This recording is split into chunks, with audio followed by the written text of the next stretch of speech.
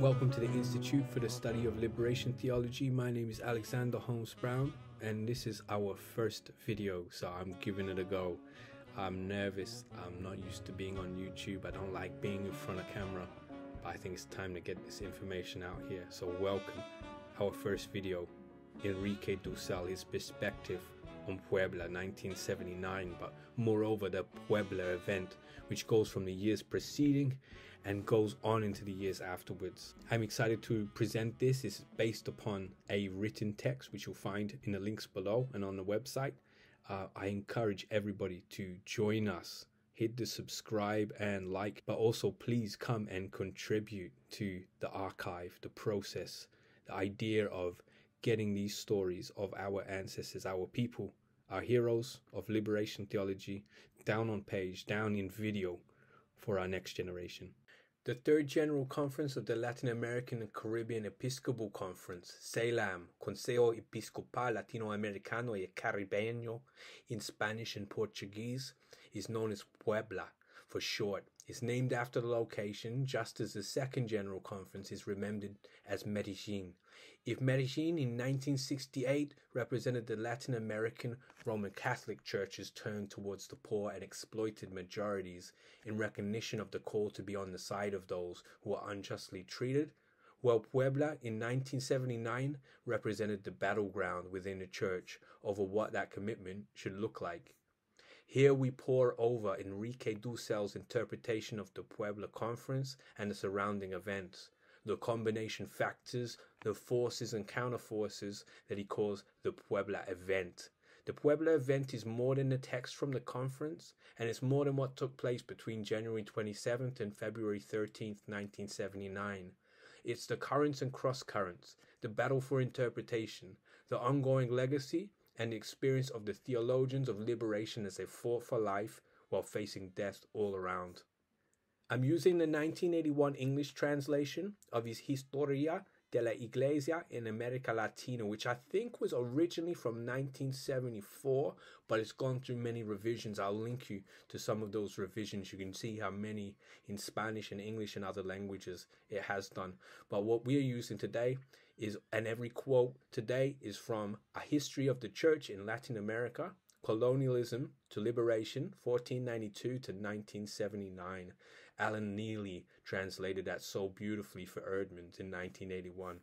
The history of the Third Bishop Conference in Puebla may be said to have begun in 1973 Early in that year, it was reported that observers have noted statements made by Bishop Lopez Trujillo, the new Secretary General of CELAM in Rio de Janeiro at the beginning of this year, to mean that there may be no third conference for the present.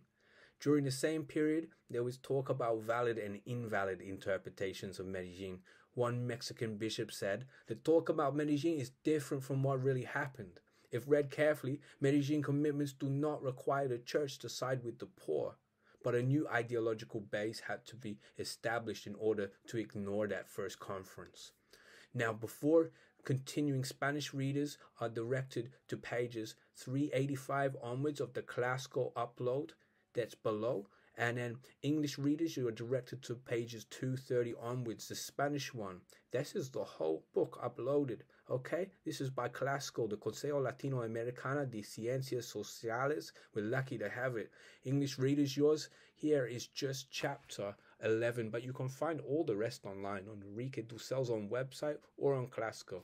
So 230 onwards there. Let's continue. On November the 30th, 1976, CELAM was charged with organizing the Third Bishops' Conference, the beginning of a long journey which would end February 13th, 1979. So it did end up coming to be. These and two some years later allowed the church in Latin America and also around the world to recognize the importance of an event which would affect directly or indirectly the orientation of the church on other continents. What was taking place in the Americas mattered everywhere.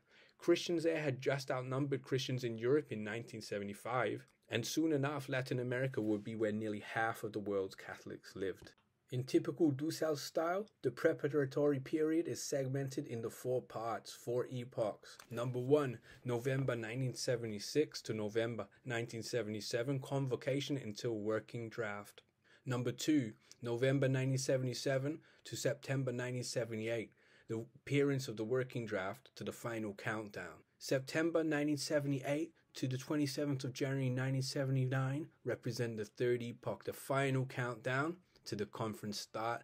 And number four, we have January the 27th to February the 13th, 1979, the conference itself, Puebla, the third general conference of CELAM.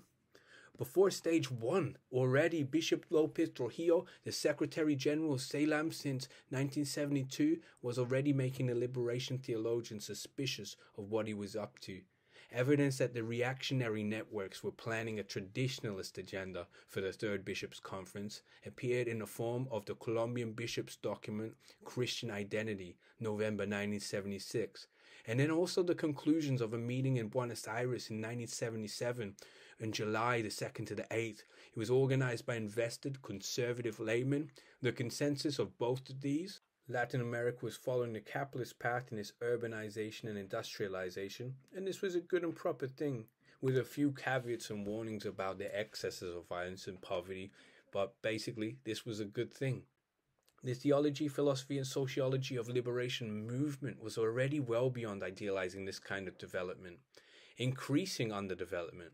The structural poverty of Latin America was, for them, part and parcel of the development, the enrichment of the corporations that so called developed, and we should read exploited Latin America in the capitalist model. What happened to the prophetic denouncements of the Second Bishops' Conference in Medellin? It was apparent that some influential factors within the church wanted to turn back the clock and steer against the criticism launched by the Liberationist school against developmentalism. Straight away, seeing the writing on the wall, these networks mobilized. Dussel says the bases began to organize when they discerned what was happening, and they awaited the publication of the working draft.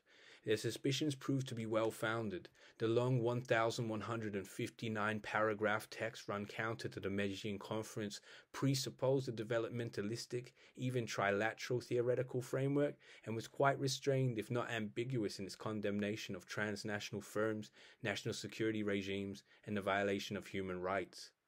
In January 1978, there began the most important counteroffensive in the history of Latin American theology not only did theologians take part, but also bishops, groups of bishops, priests, religious based communities, peasants, and Indians. It was an unplanned, spontaneous act of repudiation of the working draft. In America appeared alternative documents. Bishop Marcelo Pinto Carvalheira and a liberationist stronghold in the Brazilian northeast produced their contributions to reflection and from Venezuela they circulated una buena noticia, la iglesia nace del pueblo latinoamericano. From around the world came alarm from Catholics who supported the work done in Medellin. Over 70 theologians met in Colombo, Sri Lanka, and voices rang out from every European country and from North America. Internationally, the memorandum issued November 21, 1977 from progressive West German theologians raised the stakes. The names of the signers included Johannes Baptist Metz, Karl Rahner, Jürgen Moltmann, Norbert Greinacher, Helmut Gollwitzer, Martin Niemöller, Walter Dirks, Herbert Vorgrimler, Paulus Engelhardt, and Ernst Käsemann. The church world over took notice of what was involved in a church conference in Latin America.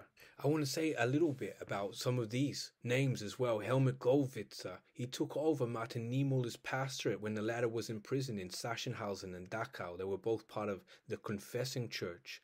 As for Ernst Käsemann, his daughter Elizabeth Käsemann, a human rights activist, disappeared, was abducted in Argentina on March 9, 1977, and her tortured body was left on the streets on May the 23rd.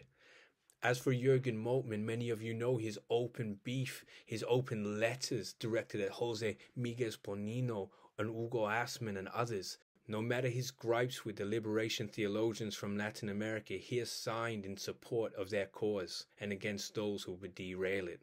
Speaking of which, in that year, 1977, Jurgen Moltmann toured Latin America. He started in Argentina at ISEDET, where Jose Miguel Bonino was, and he ended his tour at a great conference in Mexico. Um, I have the book here from that conference, Praxis Cristiana y Producción Teológica. By Jorge V. Pixley, Jean Pierre Bastian, or they're the editors, I'd rather say. Now, this one's not been translated to English. Um, I'm working on it, and I've uh, graciously been sent the PDF from the seminary. If anyone wants to help translate this, they can. Jurgen Moltmann was there. James Cone was there. Alfred North Whitehead was there. Harvey Cox was there. It's a really important piece of the history. But back to our conference today, Puebla. Cardinal Aloisio Lorscheider, well known for his work at the National Conference of Brazilian Bishops and president of CELAM since 1976, at this point he took back a little power, at least nominally for the liberationists, assuming responsibility from this point for the task of writing the agenda for the third conference, although Dussel says Riley with ample collaboration, i.e., Secretary General Lopez Trujillo and gang exerting their pressure on every paragraph. Even with the sympathetic Lorscheider at the helm, he's often enough listed among the liberation theology lineup, none of the theologians of liberation were admitted to the next draftings. Dussel says it like this. It was as if Karl Rahner, Yves Congar, and other prominent European theologians had been excluded from the Second Vatican Council. Of course, he says, certain reactionary factions did try to exclude them. With this delay, due to the controversy surrounding the initial working draft, but moreover due to the death of Pope Paul VI on 6 of August 1978 and his successor, Pope John Paul I, on 28th of September, there was more time still for leaks and disclosures about additions and exclusions that took place during the preparations, such as the letter sent from Bishop Lopez Trujillo to a colleague, where he says, Prepare your bombers for Puebla and get training before entering the ring for the world match. Among all that was at stake for the church, the watching news media, the theologians of liberation and their traditionalist enemies, and all of the social classes who wished the church's blessing and legitimation of their strivings, was the election of a new pope after the untimely deaths in quick succession of Paul VI and John Paul I, the election of the conservative Polish cardinal Karol Joseph Walzer who would become Pope John Paul II on 16th of October 1978, must have come as some relief for Bishop Lopez Trujillo and for Father Roger Vekemans, who had parted ways with the liberation theologians early on, maintaining the developmentalist, anti-revolutionary line as editor of journal Tierra Nueva, which Walzer, as a cardinal, had received and been primed by on the Latin American situation since perhaps as early as 1972. So this is what the ring, the world match looked like. Bishops were divided by class loyalties, different ideologies, and even national blocs.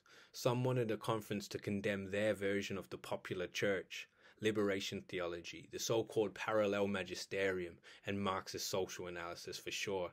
Others supported the church's experience in the base communities and identification with the poor, and espoused the denunciation of national security regimes, transnational economic expansion, and the violation of human rights. The delegations from Argentina, Colombia, Mexico, and finally Venezuela formed the conservative bloc in Puebla the Brazilian bishops and those from Peru, Central America, the Caribbean, and Ecuador, as well as others, defended the church's commitment to the repressed people of the continent. So it was that things started to gather in Mexico towards the end of 1978 in preparation for the showdown in Puebla. I'll say more about the atmosphere of the conference in another video. For now, let us continue with Dussel's interpretation of the documents that came out of the conference and with the speeches and interventions that came from the new Pope. Although we're not going to follow so closely as to replicate Dussel word for word, I want rather to comment on some of his comments, interpret his interpretations. Dussel's slant is noticeable.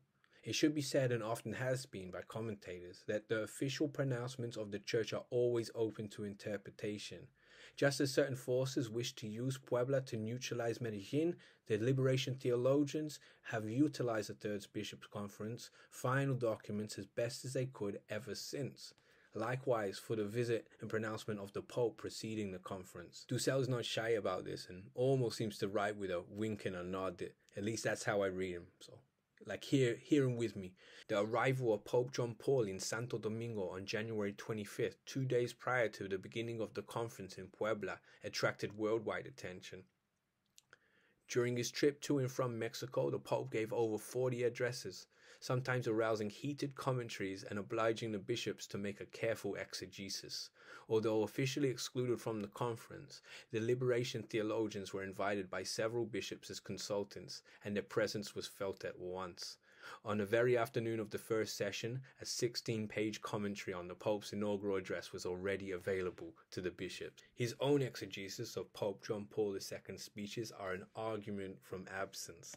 The Pope gave no substantial support to the old idea of Christendom. He said nothing to imply that the Church should be situated in political society, allied with the upper classes, or dependent on the state in its pastoral function.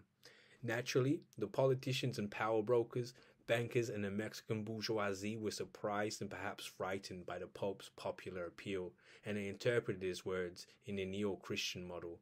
Within a few days, however, it became clear that he was supporting neither capitalism nor condemning socialism, but rather demanding freedom for the church and its mission under both systems. His meaning was not quickly grasped, but of the words that found their way into the final Puebla document, those of John Paul II are the most pastoral passages and clearly express the support for the poor. Now compare that to Paulie Sigmund, who was writing in Crisis magazine when he said, The Pope criticized the politicization of the gospel message, decried the effort to promote a people's church in opposition to the institutional church, and called for a Christian concept of liberation that cannot be reduced simply to the restricted domain of economics, society, and culture. Sigmund, a sympathetic but critical commentator on liberation theology, describes the relationships between official pronouncements, church congresses, and the individuals shaping and shaped by them, as well as that trajectory from Medellin to the Puebla event. He says this the liberation theologians outside the meeting worked tirelessly, criticizing speeches and draft resolutions and replying to attacks on their views. The result was a final document which could only be described as a draw. It condemned the politicization of theology and a praxis that has recourse to Marxist analysis, but it was also critical of liberal capitalism and of the doctrine of the national security state used by current military regimes to justify their rule. More important, Puebla made a decisive commitment to the preferential option for the poor, which was to be almost as controversial in future discussions as Medellin's reference to institutionalized violence was.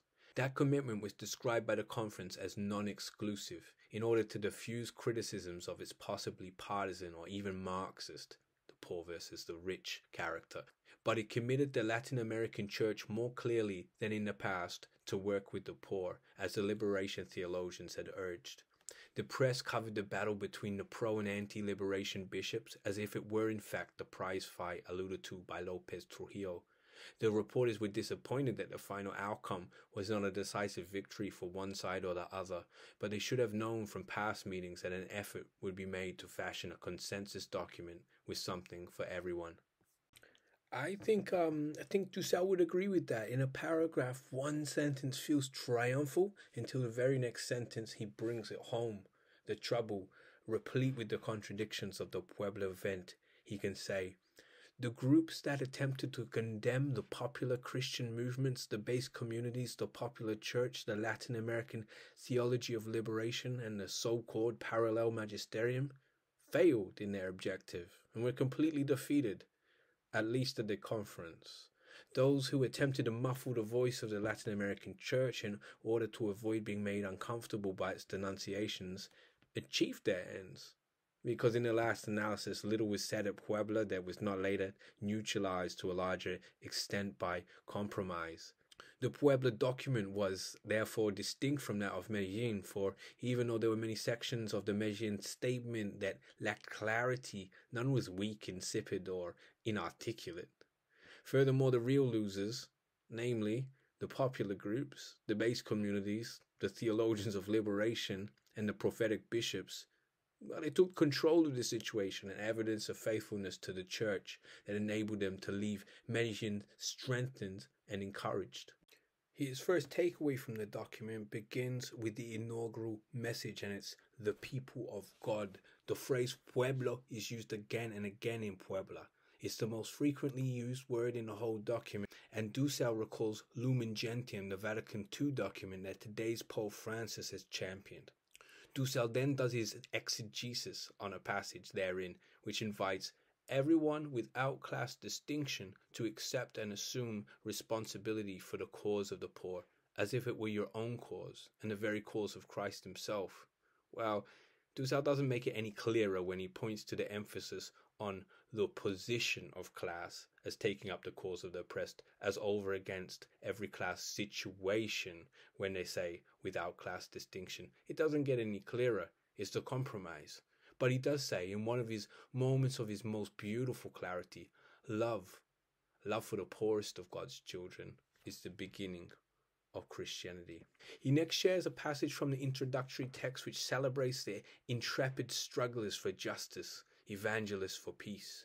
Antonio de Montesinos, Bartolomé de las Casas, Juan de Zumarraga, Vasco de Quiroga, Juan del Valle, Julio Garcés, Jose de Anchieta, Manuel Nobrega, and Antonio Valdivieso. I hadn't known until now that this was Bartolome de las Casas' first official welcome by the church, as my introduction to Latin American religious life had been from inception through the writings of liberation theology, and the writings of liberation theology never stopped celebrating him.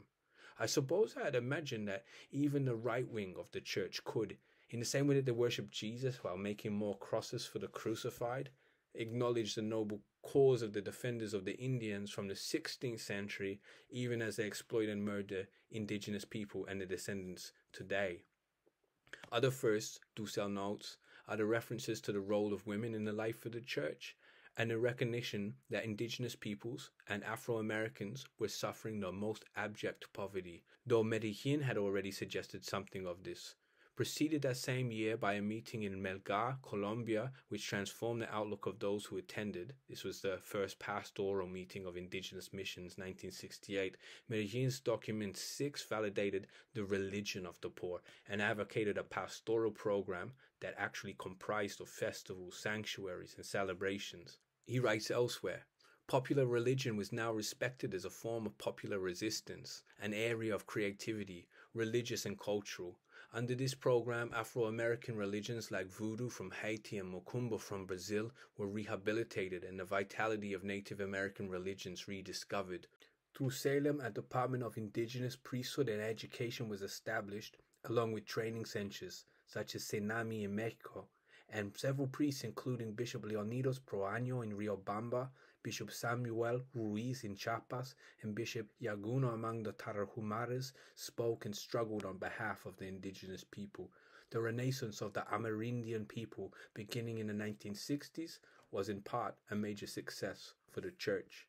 This new world of marginal, oppressed, and poor groups linked to the church justified the positions adopted at Medellin and Puebla a church for the poor was born in creative tension with members of the ecclesiastical institution who tended to adopt a conservative alliance with established power groups and sought the strengthening of the hierarchy's control of the ecclesiastical apparatus in response to firm leadership from Rome. This tension increased during the 1980s and culminated in a period of restoration of middle class ecclesiastical movements. We will say more on the role of women in the life of the church at Puebla, where they were excluded uh, not only from the conference but from the counter conference of excluded liberation theologians too. We'll be doing that in another video with a reflection from Rosemary Radford Ruether, who was there in support of sisters in South America, Latin America, the Caribbean. Dussel contrasts the Brazilian church model to the Colombian or Argentine models when he quotes passages on the sin, the evil of unjust structures, paragraph 1258, and the call for the church to become more independent of the powers of the world in order to take advantage of the freedoms that exist, which allow for her completion of her apostolic labor without interference. Paragraph 144, you see, he's contrasting the Brazilian church free from the state, free to criticize the state, and the Colombian or Argentine models, which are part and parcel of the state, hampered by the state. So when the documents condemn simplistic Christologies that have identified Christ as a revolutionary or political leader, as well as theoretical and hypothetical rereadings of the Gospels, this is Dussels' paraphrasing of paragraph 178 and going forward. Well, Dussel claims that in this regard, the theology of liberation is not only in agreement with, but has functioned as a vanguard of this very position. He laments the lacking other half missing from this orthodoxy, though. That's the praxis, the political function of the prophetic and priestly Christ, missing from the documents. I hadn't known until now that the Puebla documents name the theology of liberation head on, but in addressing the so called popular church, I think Church of the People is a, the best translation for popular church, by the way. It condones their attempt to identify with the popular movements of the people, as has always been intended by the theology of liberation and experience of the Conference of Bishops. Read this as an affirmation of Medellin. Dussel reads this as the popular church now has a green light if it reproduces the incarnation in popular ways. It should be condemned, however, if it proposes to be a church distinct from the official and institutional church, but it's never been thus understood by those who are committed to the poor in Brazil, Peru, or Mexico. The assertion that the popular church is schismatic is simply a false accusation made by those who really desire to undermine this incarnation in popular ways. Paradoxically, it has been these accusers who are being condemned. As the saying goes, they went out to shear, they returned sheared and the Pope himself is called upon by Dussel for these surprising declarations. This is from Pope John Paul II in Rome on February the 21st, 1979, the same year. We should call by its name whatever social injustice, whatever discrimination, whatever violence is inflicted on the body, spirit, or conscience of a human being. We should call it by its name injustice, the exploitation of a person by another person, and exploitation of a person by a state and the economic systems. And even more, a validation from the, the same Pope of liberation theology. He says, the theology of liberation insists that human beings not only should be instructed in the Word of God, but also speaks of their social, political, and economic rights. The theology of liberation refers at times exclusively to the situations in Latin America, but we should recognize the demands of a theology of liberation for the whole world. But the utility of this for the theologians of liberation facing ever increasing violence at home and future censuring from that same Pope leaves an ambivalent impression. Is not the verbal validation of a theology of liberation in combination with the concrete barring of the theology of liberation's main spokespeople, not the exact subversion that Lopez Trujillo and Roger Vekemans especially were tasked with. In the latter case, with funding from US intelligence to do so. Still, Dussel takes in his book, and we must remember when it was written and released and expanded to include these years up to 1979, and so he's writing tactfully on the matter. But in his book, he takes this sympathetic, hopeful view of the pontiff, who's a new pontiff at this point. Some of us expected these words from the Pope. The news media, and especially the writers outside and inside the church, had misrepresented his thinking, for he has an extraordinary sensitivity to the poor and will understand sooner or later the profound spiritual pathos of our theology. I suppose my own interest and motivation for doing this work, developing this kind of archive called the Institute for the Study of Liberation Theology, is, besides a purely historical interest, one to do with my own rearing in this movement, well trapped it seemed inside of a more conservative, evangelical world, and the discovery not of an ideology, I mean, there was that too, but of a human connection to these authors who were writing from their own connections to the humans they loved and ministered among. Not much of a theologian myself, I've always been primarily interested in the life stories of the theologians of liberation their motivations. That's why I spent so much time recently on a biography of Dussel that spends time specifically on his emerging self understanding. It's just a little biography, uh, and it really goes even from his childhood. There is a story Dussel shares next, which I'll simply link to in the Spanish and in English. It's always surprised me their, their graciousness and carefulness with which most of the theologians of liberation have spoken about the bishops of Rome. Even Ratzinger, Pope Benedict, and even after the major condemnations of 1986. One could speculate the measures of carefulness versus kindness in their humility, given their endangered situation. Dussel wrote the above, for example, while in exile because his home was bombed. Uh, but nevertheless, I'm surprised again and again at their patience with regards to their own lots, their own suffering.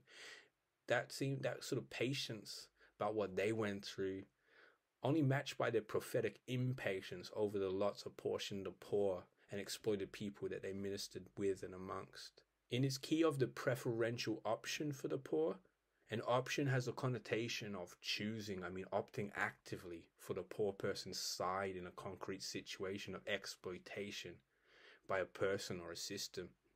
In its key of the preferential option for the poor, um, those denied the most basic material goods, written paragraph 1135, eh, there's a challenge to materialism which sets forth alternative solutions to the consumer society, paragraph 1152.